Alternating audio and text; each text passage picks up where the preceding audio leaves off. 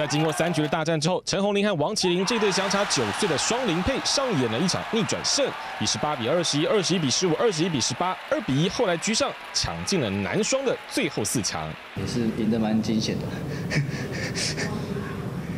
很爽，松了一口气，对吧？闯进四强的感觉，第一次啊，所以就觉得很有成就感，对吧？想继续拼，拼冠军。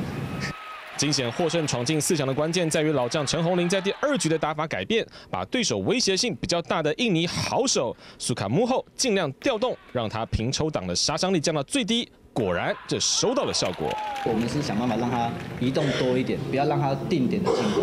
因为他的变速像算是非常的水准。那只是我们想说，尽量让他移动，不要让他这么的快，让他稍微慢一点，慢一点，我们的时间就稍微多一点。其实第一局到后面自己都乱掉。可是到第二局就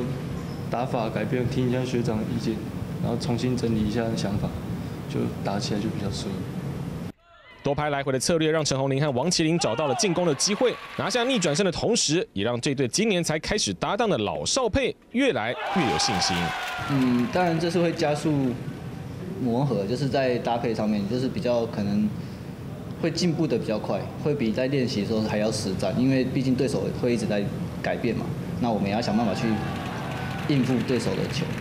利用国际大赛加速默契的磨合。虽然双零配不会前进仁川打亚运，但还是希望透过台北公开赛为接下来包含世锦赛在内的国际赛事做准备。我要去宣传场杨不是台北报道。